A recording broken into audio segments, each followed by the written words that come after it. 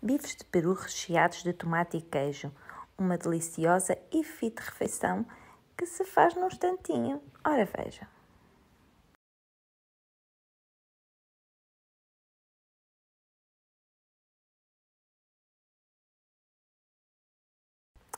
Misturar iogurte com queijo ralado. Espalhar a mistura no meio dos bifes de peru.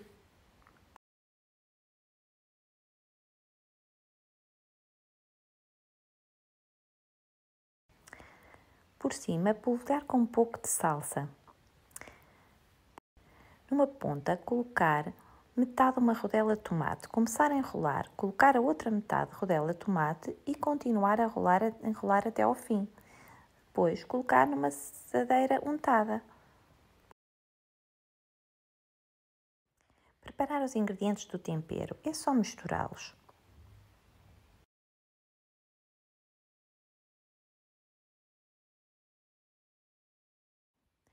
Barrar o tempero nos rolos de peru e levar ao forno 25 minutos. Depois é só fazer uma pequena cobertura de queijo ralado e voltar ao forno a gratinar.